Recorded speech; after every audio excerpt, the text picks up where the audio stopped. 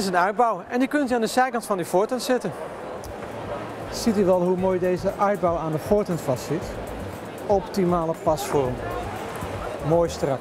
Deze uitbouw heet de uitbouw Kool. Het is gemaakt van acryldoek en is voorzien van een frame van carbonfiber. Deze uitbouw is geschikt voor allerlei soorten doeleinden.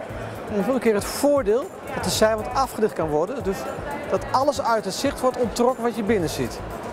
Toch nog een hele mooie deur hier. En een deur vanuit de binnenkant. U bouwt natuurlijk een mooie extra ruimte aan uw voortent. Maar dat is niet alles. De zijwand van uw voortent kunt u weer terugplaatsen in uw uitbouw. Deze uitbouw is een ideaal plekje voor bijvoorbeeld kinderen. Als ze wat kleiner zijn, dan kunnen ze via de voortent hier naar binnen, hebben ze een eigen ruimte.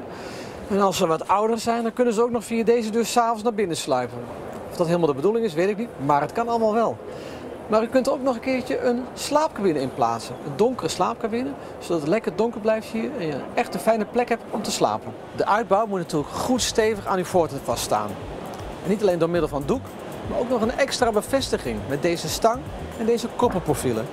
Deze zorgen ervoor dat het dak van de tent goed blijft staan, maar ook het dak van de uitbouw mooi strak staat.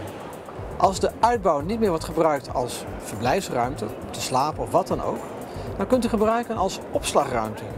Voor uw fietsen, barbecue, tuinstoelen of andere dingen die u eigenlijk uit zicht wil hebben. Want, zoals ik al vertelde, de wanden kunnen dicht, dus niemand kan van buiten naar binnen kijken. Uw spullen zijn toch een stuk zekerder.